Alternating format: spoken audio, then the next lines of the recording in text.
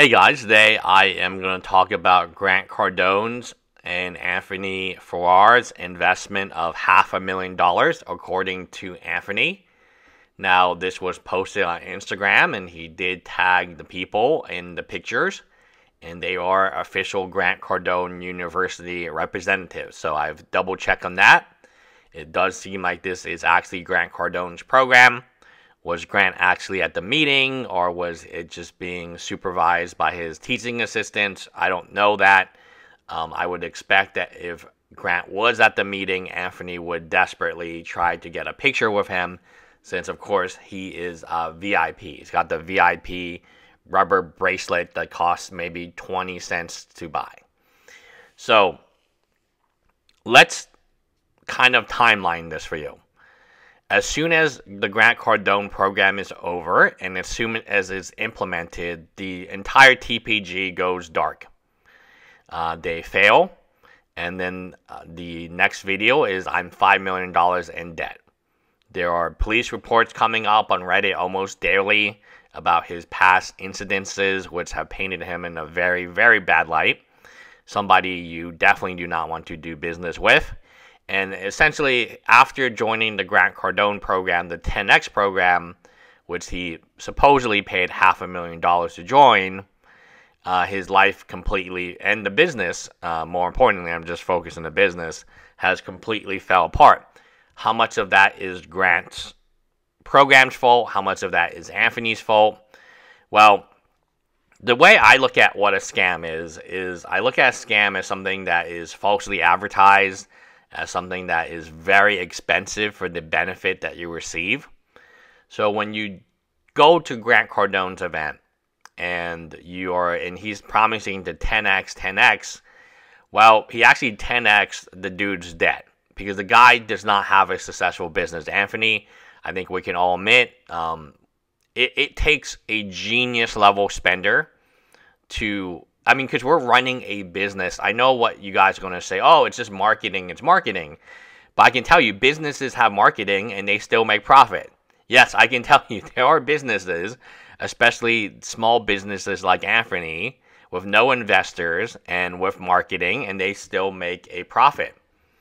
It is therefore quite surprising that Anthony's business has lost that much money. Now, many of you will say, "Oh, well, that doesn't make any sense. Like, you know, marketing is marketing." And the the problem is is actually quite simple.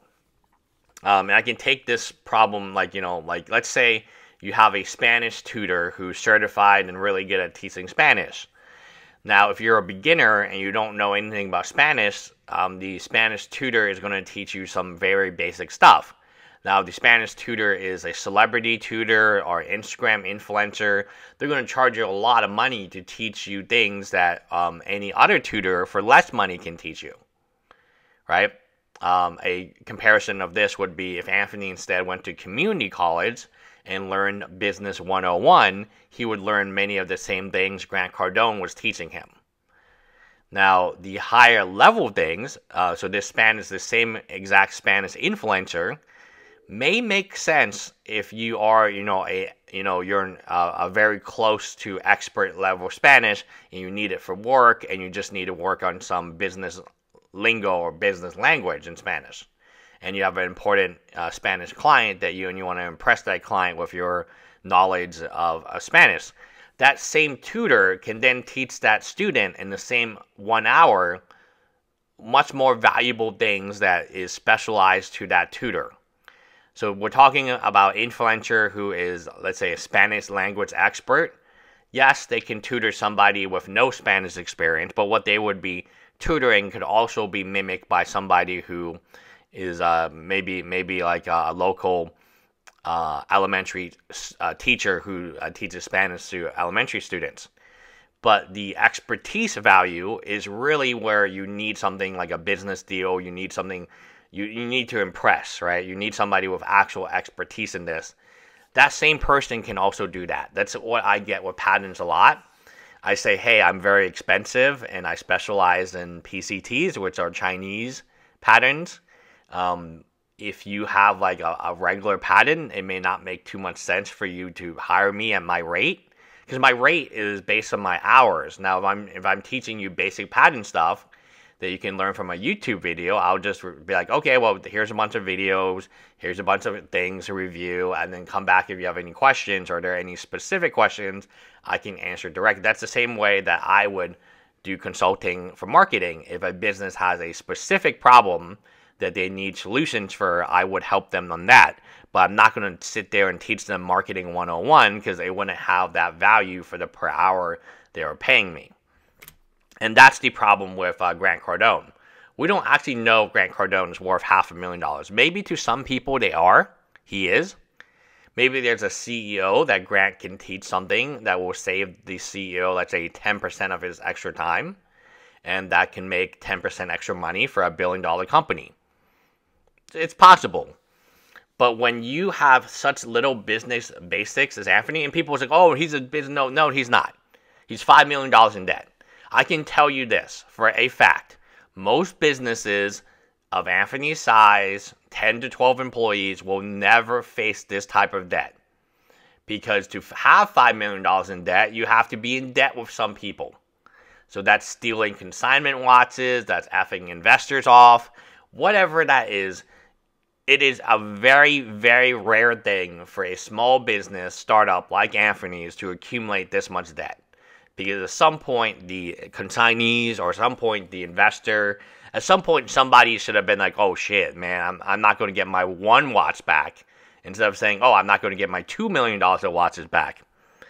At some point the, the uh, scheme ends much soon most schemes end much sooner than this. To get five million dollars in debt really is a art skill. It's very artistic. It's very and i mean it's, it's incredible to accumulate that much debt as a business and as an individual. So I, you know, we, I mean, I, I just, I was talking to a, a person who added me on Facebook last night and about Grant Cardone. I have to do more research about Grant Cardone. Maybe I will make a video about him in the future. But as right now, like, yeah, half a million dollars is a lot of money. But is Grant Cardone worth half a million dollars? I would say, yeah, he gets paid more than that to do speaking engagements. So for Grant Cardone's time, it might actually make sense. Just like uh, Anthony's prior coach, which he paid $100,000 to, that also didn't make sense because the prior coach was just teaching Anthony how to get a secretary and how to outsource work, basically how to delegate work, which is something that a community class, one community college course, can teach Anthony more basics than the whole Grant Cardone enterprise, in my personal opinion, at this level.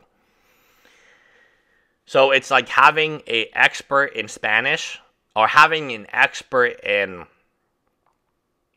let's say um let's ha- let's say that you you have a physics exam and you ha- you hired an expert in quantum physics. Yes, he can probably teach you what gravity is and, and how to put the gravity in equation. But it's not really a good use of his or her time. They are a Nobel Prize winning quantum physicist, right? Their probably time is probably better spent at a nuclear power plant or figuring out fusion or fission, right? Um, but they could teach you. So what Anthony did was he hired somebody that was way out of his expertise league for way too much money. I would surmise the one hundred thousand dollars, and and it's not really the coach's fault, right? It's the coach teaching. It's not really that, that guy's fault that Anthony's lack of business knowledge is so basic that he's trying to teach him delegation because in his mind it probably will help him a lot. And and it would have had he actually hired done what he said find a joan if you will that can do most of your busy work. And and honestly it's great advice but it's very beginner advice right? It's delegation. It's not advice for somebody who already has 12 employees. Um, he or she should already know that but anthony does not and this is what we talk about. Anthony argued with me in a comment about education and how he can succeed without it. This is where I'm going to differ a little bit. I'm not super pro education. I'm not pro student debt, like uh, getting into insane amounts of student debt for your underwater basket weaving program. I'm not about that. I think a lot of colleges are predatory. I think a lot of colleges and universities, including Watch Dealer University, they use the same scummy tactics to sign up students who are just trying to make a change in their, in their lives, right? Trying to better themselves. through education. But once education becomes privatized and monetized, it's all about how much money can we milk from these students, uh, from federal loans, right? That being, I mean, it is what it is. So back to um, the the main issue here. The main issue is Anthony, for somebody who is promoting a university, does not has never really t- been to a university. He doesn't have a college degree. I don't know if he's taking any college classes. He seems to very be very anti-college, anti-university, and that's very silly because he then he opened his own university, right? we have a guy who's not good at business and now it is relevant i mean if i told you hey you ha- i'm going to give you $5 million and you're going to go to los angeles and you're just going to do marketing the whole time you would have more subscribers than anthony i promise you you would have more subscribers than uh, his instagram his tiktok i mean it is crazy to me $5 million can buy you a lot in america it can buy you a lot of followers. It can buy you a lot of fans. It can buy you a lot of, uh, you know, bots or whatever is going to buy you. You can fake your social media very well with $5 million.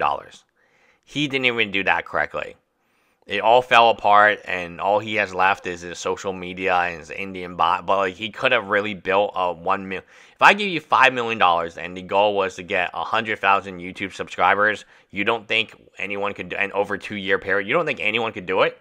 You could just do giveaways. You can just buy bots to help the algorithm. You could do a shit ton of things, and you would have a hundred thousand plus subscribers at this point in time. This is the worst path to get there um, because you stole people's watches, your reputation is skunked.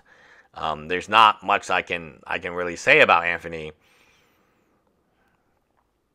I, I it's sad to see, but everything that Anthony's done has been a lie. He's not a successful business person. He's not a marketing genius, which at one time I thought he was. He's just a guy spending money. When you spend $5 million, and especially of other people's money, oh, uh, OPM, other people's money, is what they would call an investment. It's really fun times. Uh, of course, you're going to find friends that like you. It's hard not to, right? You know, when uh, you're spending that type of money on dinners and their cars and their apartment rentals and their Ducatis and their Corvettes with Lambo doors, because of course they need, you know, you paid for that too. When you spend this type of money and it's other people's money and you don't really are not concerned about it, um, yeah, you are going to find out something really fast and it's going to be very, very interesting. What you find out is once the money's gone, you were actually never good at making money. You were only good at spending money. And no coach, no program, no nothing can help you because you never knew how to make a dollar to begin with. So like you 10x, right? What are you 10xing? You're dead. So there you go. I mean, I mean, should be pretty obvious that when you 10x something, you can only 10x something that you have. You cannot 10x something you do not have. And in terms of you know what Anthony does not have, he's never been able to show a profit. Even from the early days, they would just do revenue and and so on and revenue means nothing. You know, I could start a company with $10 million or $5 million, and my company is, hey, for every $1 you give me, I will give you $2 back. Well, we would easily, we would, within the 24 hours, we would have a $2.5 million revenue at a $5, a $5 million expense. We would lose $2.5 million straight up in that day. That doesn't mean that we're a successful company just because we generated $2.5 million revenue. Our expense is $5 million. So we've actually lost $2.5 million. Anyway, uh, let me know what you guys think in the comments below. Um, I am. This is a very fascinating topic because it also loops in Grant Cardone, which is somebody who I also want to make videos on, of course, in the future once I do a little bit more research. Bye, guys.